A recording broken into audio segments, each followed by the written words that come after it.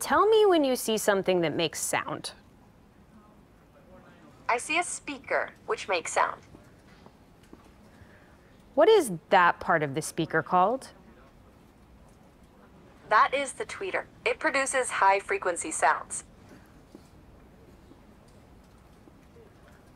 Give me a creative alliteration about these. Creative crayons color cheerfully.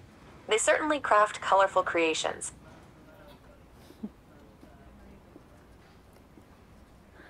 What does that part of the code do? This code defines encryption and decryption functions. It seems to use AES-CBC encryption to encode and decode data based on a key and an initialization vector, IV.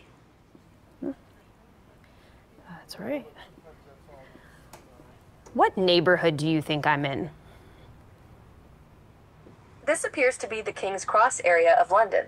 It is known for its railway station and transportation connections. Do you remember where you saw my glasses? Yes, I do. Your glasses were on the desk near a red apple